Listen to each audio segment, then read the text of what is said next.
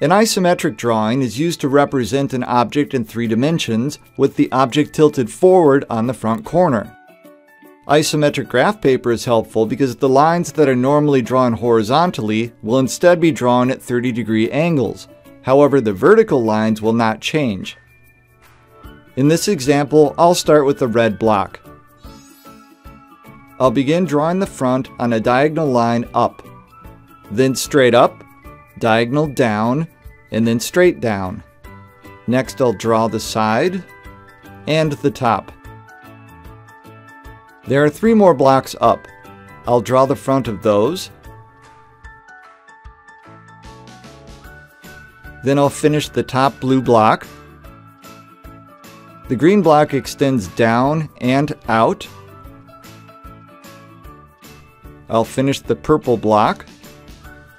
And finally the yellow block. The isometric drawing is now complete. This technique requires only one view to represent a three-dimensional object.